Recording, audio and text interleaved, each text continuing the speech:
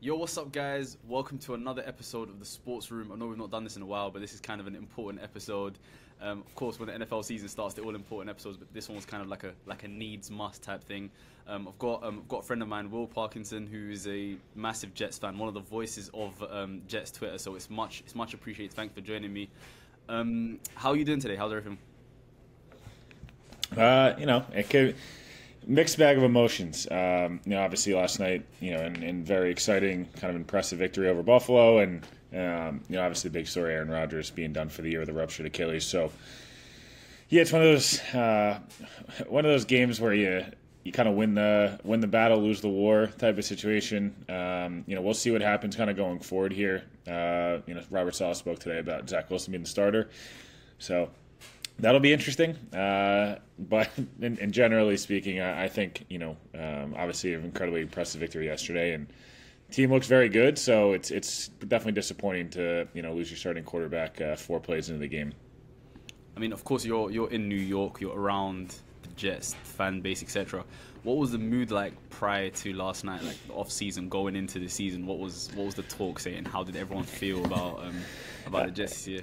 I know it's gut wrenching. I'm really sorry, but yeah, no, it's. I think. Uh, I think everyone's kind of, um, you know, in a in a spot of, you know, truly there was some true like Super Bowl expectations, um, you know, and it's it's it's tough. I, it's it's just one of those situations where you, you kind of look at it and, you know, you, this is kind of similar to 1999 for a lot of Jets fans. They came off the AFC Championship game in 1998 uh, won a playoff home game, and then coming to 1999, a lot of expectations, and they lose to starting quarterback Vinny Testaverde torn Achilles on the like third drive of the game.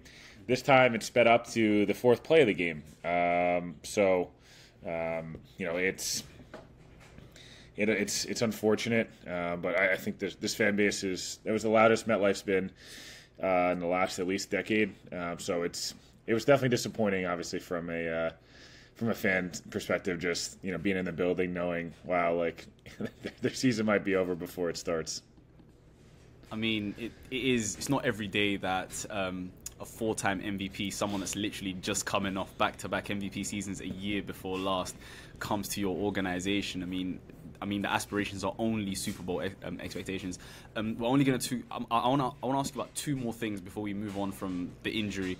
Um, the first thing is, um, what are your thoughts? What are your thoughts on the field and the turf and everything that's being said about the turf, turf at MetLife? Because I know they changed it.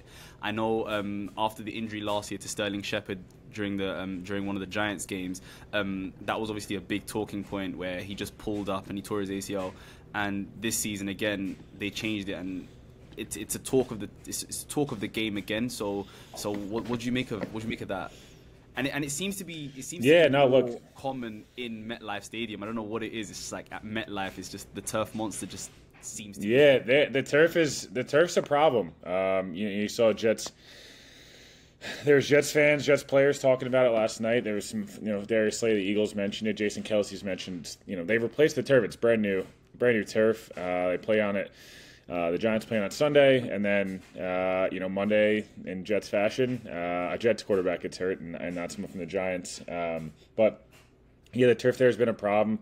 You know, it was grass obviously, you know, at the at the old stadium, and um, you know they they obviously made it to be turf, and it's it's highly unfortunate. It's it's a huge talking point across the U.S. and in MetLife specifically of you know they're trying to host the World Cup final in, in three years, and um, you know, obviously you're not going to host that on turf, but changing it for the World Cup as much as I'm a diehard Bayern fan and I watch you know more footy than anybody. You know, the team whose stadium it is should, probably should be catered to them more than anybody else. So it's a huge issue. It's an issue across a bunch of stadiums and you know leagues, but um, the Jets specifically, Jets and Giants at MetLife, it's it's been a problem. And um, you know, as much as it was unfortunate for Sterling Shepard last year, uh, you know. Losing Aaron Rodgers is a bit a, a bit bigger, bit of a bigger deal, unfortunately. No, one hundred percent, one hundred percent. I mean, that's one of the greatest, one of the best quarterbacks right now. So you you and then you add all of these weapons and. I mean, Mecole Hardman, Garrett Wilson, obviously get finally getting a quarterback. Gonna, I mean, it's just there was just unlimited potential for the Jets. The final thing I'm going to touch on is um, the situation about the cut blocks Um, there was a lot of talk around um, the tackles because we saw it on about two or three different plays yesterday, where um, where your offensive tackles went to do a cut block rather than um, rather than a, a standard block, and apparently Rodgers actually mentioned that he didn't like that, and it was just ironic that not ironic, but it's just unfortunate that that was the situation. I mean, how true is that that um, Aaron Rodgers was against it and yeah, I don't, I don't know on this one. It seems a little. Rodgers like all off season was Rodgers offense, and then magically all of a sudden it wasn't when uh, you know when it came to this. So I'm not sure I buy it. And in, in all honesty, is I'm not trying to beat up on Rodgers. It was obviously incredibly unfortunate and horrible, but he should have thrown the ball. Um, that never happens if he just gets rid of the ball in time. The read's there; it's right in front of his face. He doesn't he doesn't pull it down, and you know obviously unfortunate football play happens. He gets foot gets caught in the turf, and it's terrible. But yeah, the cut blocking thing feels a little convenient this morning. Um, trying to look for somebody to blame, um, but unfortunately, sometimes you know, life happens. It's it's it sucks. you know. Um, I'm, I'm, actually writing an article about yeah. it now, and I don't, I don't even know how to start it. It's just it's just it's just so heartbreaking for not only Jets and the Jets fans, considering you guys haven't had success for so long, but it's just for Aaron Rodgers himself. He looked rejuvenated. He looked um, he looked excited again. All these little cool little handshakes and stuff like that. And all of a sudden, it's just it's a shame. Um, let's let's go on to the game and let's talk about football now. Um, apart from Jordan Whitehead, sorry, yeah, who was the most impressive for you on defense yesterday? Because um, if there was such thing as defense won you that game, it was that game yesterday. It was it was unbelievable. You suffocated Josh Allen. They couldn't run the ball. They couldn't throw the ball, and it was it was very very minimal. Everything they did was minimal. Of course, Josh Allen didn't help himself by going. I mean, by trying to force the play. But um, who impressed you the most on defense yesterday, apart from the man that had three interceptions? Yeah, no. Uh, Jermaine Johnson, Quincy Williams are two guys that stand out.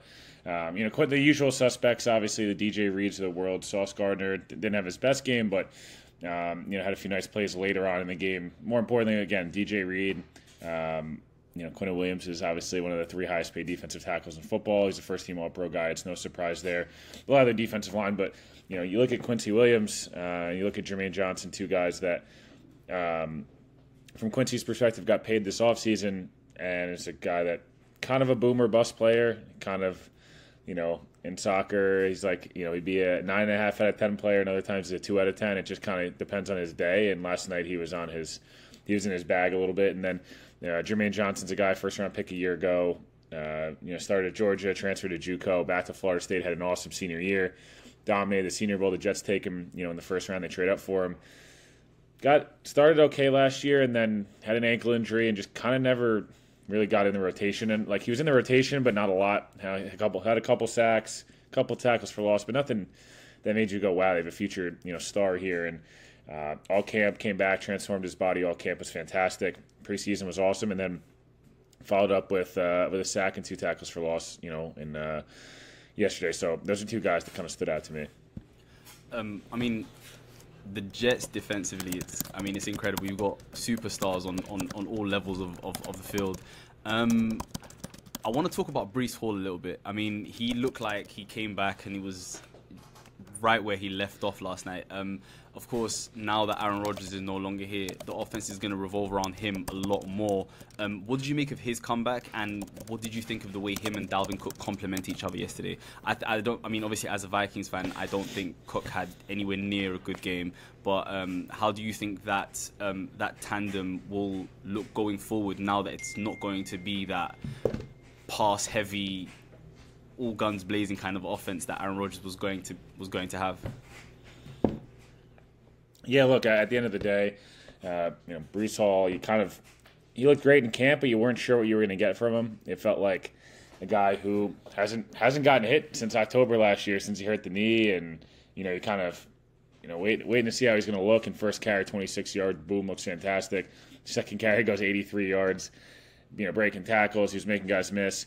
Dalvin Cook, I thought was fine. Um, he kind of did what he was kind of asking him to do, which is take a lot of the load off of Breece Hall's shoulders early on in the season. Had a, had two had one nice run, one nice catch, had a couple other runs where kind of were hoping he'd get maybe two or three more yards out of it. You know, keep the show lowered and stuff like that. But um, he was fine. I think Dalvin Cook at this point in his career, you kind of want to get him more out in space. He's not really that, as much of a between the tackles guy, but you know I, that's a great running back duo. It's a great tandem, obviously, and you know the Jets are gonna have to lean on that. When Breece Hall was in there last year, that this team was five and two and was looking like you know a for sure playoff team, even with Zach Wilson struggling.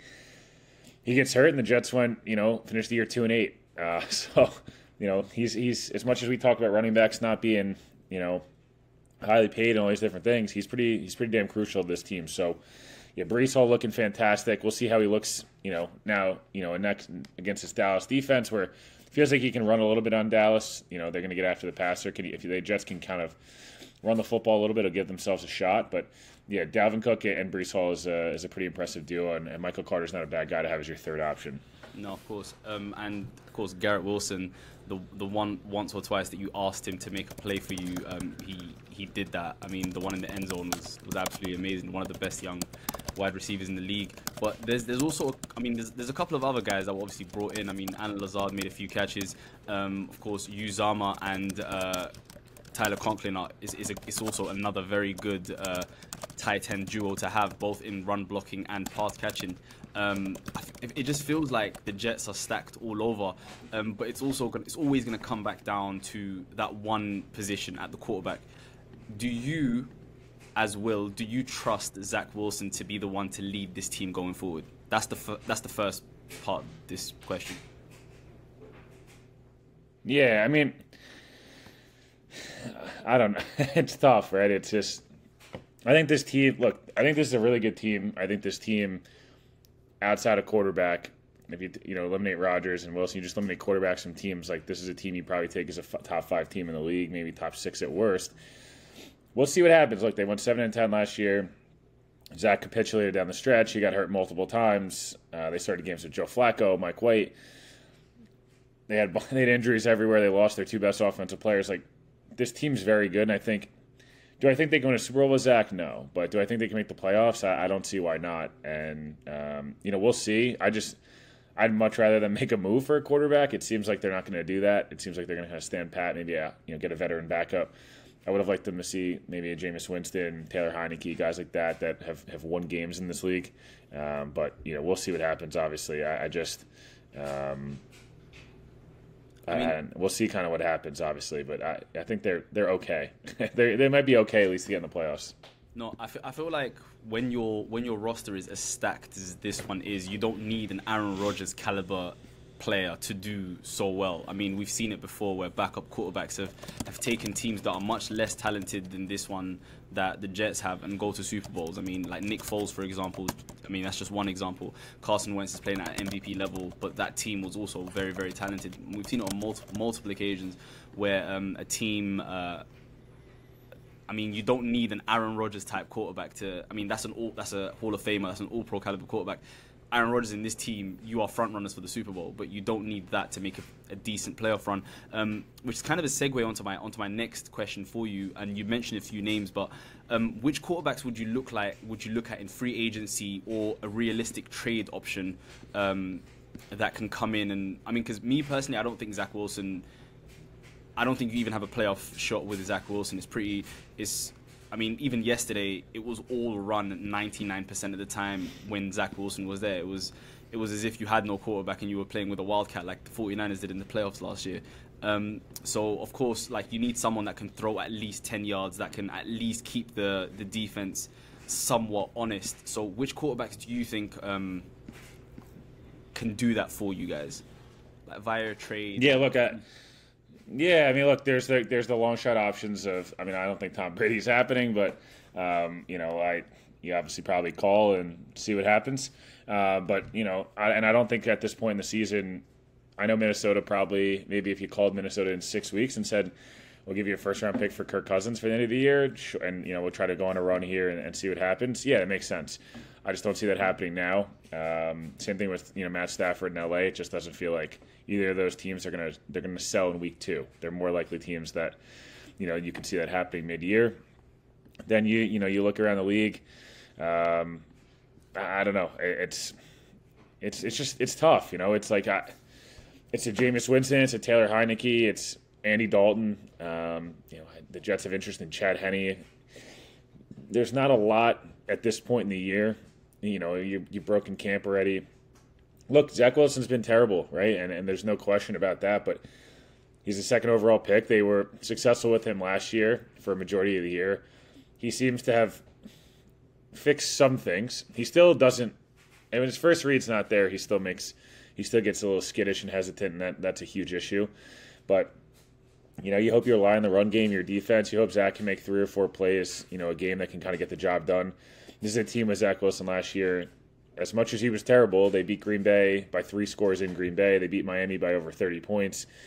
Um, they should have beaten New England twice if Zach Wilson just like doesn't totally capitulate. Um, you know what I mean? Like I think if he could just take care of the football and kind of just I don't know, you, even a Case Keenum uh, as a Vikings fan, you obviously know like if you have that elite defense and run game and some great weapons, can you just operate the offense a little bit? And I think that's what Jets fans are hoping from Zach Wilson. I, I, whether it happens or not, um, you know, we'll see. But uh, I I just it'll be interesting to see how you know this looks because this team is is certainly good enough to be a very impressive you know contender in the AFC. It's just now with no with no Rodgers, this is a problem. Uh, safe to say. Um, I remember seeing Zach Wilson in London in his rookie season, and instantly you could just see, okay, a second overall pick. the game moves too fast for him. Yeah, it, it just didn't make sense. I mean, like simple screen passes, if there's like one thing out of place, he can't seem to look past that and kind of maneuver that. And I mean, it's not it's not ideal for a, for a second overall pick. Um, a name you haven't mentioned, or names that you haven't mentioned, are names in free agency, um, like like a Matt Ryan or a Carson Wentz. I mean, do you think that would make sense? Maybe even a Cam Newton. Very very unlikely, of course. But um, how how do those those things kind of weigh up? Yeah, look at those guys are just it's a lot. You know, it's like there's there's pretty specific reasons why they're they're not on rosters at the moment. Um, you know, you look at a Matt Ryan. Could Matt Ryan operate the offense? Probably, yeah, no no question. Does Matt Ryan have any interest in getting hit anymore?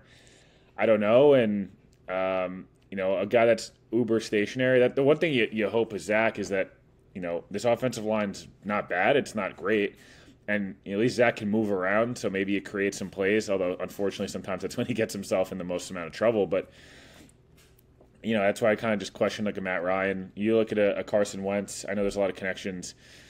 Uh, you know, with Joe Douglas being from Philly, and obviously when Wentz is Wentz is on, he's physically gifted, and he's gotten to a Super Bowl. He's almost won an MVP, and all those things are true. But um, I just there's a lot of mistakes in there, and this is a team that, and I mean, I part of the reason, my biggest reason why I want them to try to get an upgraded quarterback, it's not even that I think Zach like that someone's going to be so much better than Zach. It's that the stability of just knowing that like every play is not your heart's not in your mouth every play because you have no idea what you're going to see. Like there's points in Zach's career, Zach's career. You know, I can you know you think back to the Eagles game, you think back to the first half against the Patriots last year, and other games where you're like, or the, the fourth quarter against the Steelers, like, wow the hell has this guy been? It's like 10 of 11 for 140 yards, two touchdowns against good teams. And then there's the games where he goes three of 500 and he has 12 yards passing and looks like, you know, he's no belong, he doesn't belong in the NFL, right? So I think that's, that's kind of the, the hard part. But again, like with backup quarterbacks, that's kind of sometimes what you get. It's like they're a backup because they're either not physically that gifted or they're too up and down. And, um, you know, I, I just, it seems like the Jets are all in on Zach. I, I wouldn't be, but again, I, don't run the Jets, so um, unfortunately, in this case, they're not. I don't think my opinion is going to matter much. Um, let's move a little bit away from the Jets. Uh, what do you think that? How, how's the landscape of the um, the AFC East looking? I mean, before the Rodgers injury, it was it was shaping up to be probably the best division in football. I mean, the Pats were going to be the least good team in that division, and they looked incredible after the first quarter against Philadelphia, and obviously now Rodgers is injured. I mean, how how you how do you picture the um, the AFC East? Yeah, look, the AFC East is interesting, right? Like Miami had probably the most impressive week one. I mean, I would argue the Jets are the most impressive week one, but obviously they lose Rodgers, so I think that you know it's hard to say that they're the best team in the division. Although if Rodgers is healthy, I think they're pretty clearly look at the best team in the division. Miami, the thing is, this division kind of feels the exact same it did last year. Buffalo has a lot of problems, but they're still really good. And Josh Allen makes too many mistakes, but he's incredibly talented. Miami is got two superhumans at wide receiver and a quarterback that's super accurate but can't stay healthy. They have offensive line problems and their defense can't stop a can't stop a nosebleed. So that's their problem. Like Miami's really talented, and when they're on their day, they're good, but they're gonna have to beat you forty to thirty every single week, which in the NFL we know doesn't work. Um, New England, same thing as last year. Mac Jones looks good sometimes, looks terrible other times. They don't have a lot of offensive weapons that scare you, and their defense is good and, and they're well coached. Like they're gonna win seven or eight games, right? Like Miami's gonna win eight to eleven games depending on Tua's health. The Jets and uh, are really the wild card. It comes down to the same way it did last year. I think it's like if Zach figures out how to be 20 or 20, whatever that was, 17 or 2018 Case Keenum, sure. Like the Jets could easily win the division. The problem is, is I just have no idea if that's going to happen. So um, I still think Buffalo ends up winning the division just because, based on like they're probably the most consistently. They have the least amount of true question marks, especially at quarterback and health and things. But um, it's anyone's race, honestly. Like this, it's a division that's awesome, but the quarterback play now in the division, you, you just really don't know what you're getting from week to week. I mean, I, I understand your your Patriots um, conundrum, right? But I feel like last year wasn't an accurate representation of the Patriots. I mean, when you've got um, a defensive coordinator calling the offensive plays, um, it's not it's not really ideal. Um, his name eludes me. Um, former Lions head coach, the defensive coordinator for. Oh, uh, Matt Patricia. Matt Patricia. Matt yes. Patricia. Yeah. So when you've got Matt Patricia calling offensive plays, it's not really ideal. I mean, after the first quarter, after the pick six, etc. Um, the last three quarters of the game, I mean, Bill O'Brien was calling some really, really good plays. They looked really, really good. And you've got um, Rhamondre Stevenson and Ezekiel Elliott. They're going to run the ball really, really well. They always do. They've got decent number of weapons. They've got two tight ends that are that are always going to catch the ball um, in Hunter Henry and um, and Gesicki. So um, they surprised me personally. Obviously, I wanted to see how they look. Um, in a in a new new style of offense with an actual offensive coordinator, so um, they might obviously be in play. Um, Miami looked absolutely impressive, and it's it, it makes no sense to me why their defense is uh, is as uh, as open as it is because they've got some really really talented players on that side of the ball. Um, some good pass rushes in Bradley Chubb, which they traded for, um, and then obviously you've got Xavier Howard. Jalen Ramsey's going to come back. Jevon Holland is there. They've got some really talented players on that on that side of the ball, so it makes no sense why they are just not good.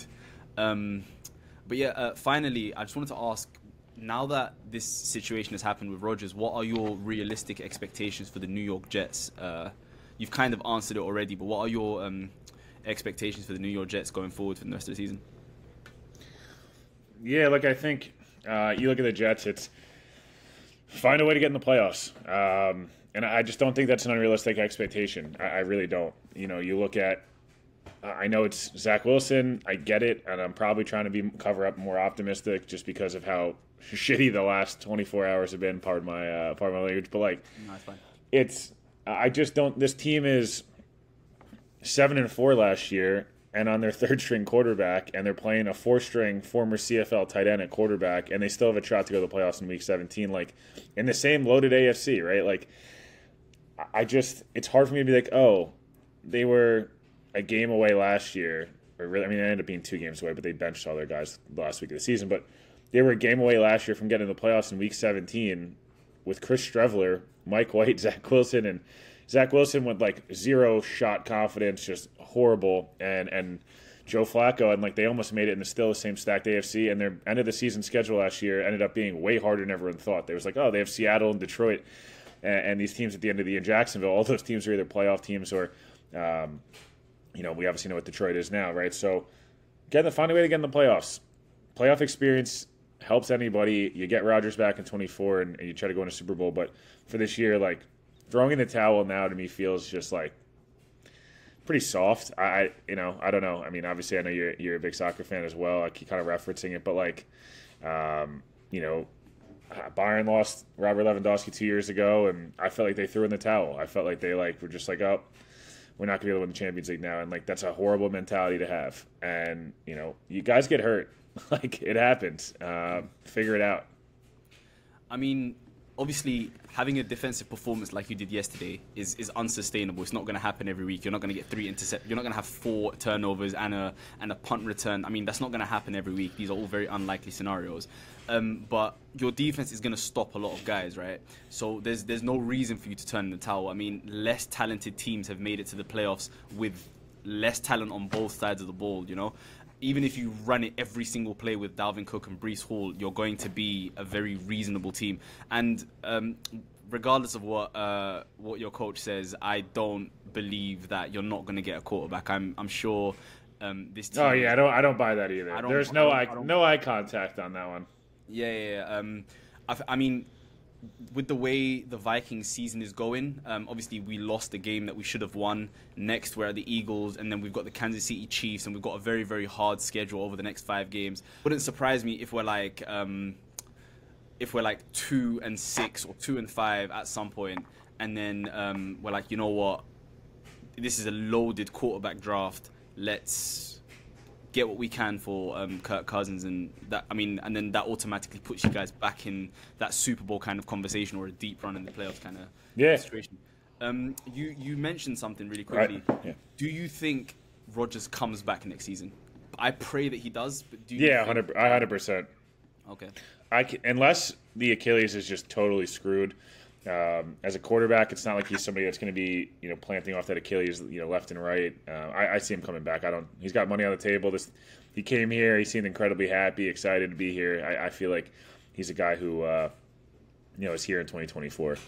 Yeah, I mean, I, I don't see. I mean, Rodgers' ego is too big for him to go out, go out like that. Yeah, he's not going to go out like this. Rodgers' story. Rodgers' story ends with um, him winning a Super Bowl in New York and all of that, and then I mean that's how I pictured it. I, I, I thought he would win a Super Bowl this year and, and um, sail into the win. But thank um, you for watching the Sports Room. If you enjoyed that, make sure you like, subscribe, and press the notification bell so you know the next time we upload. See you soon.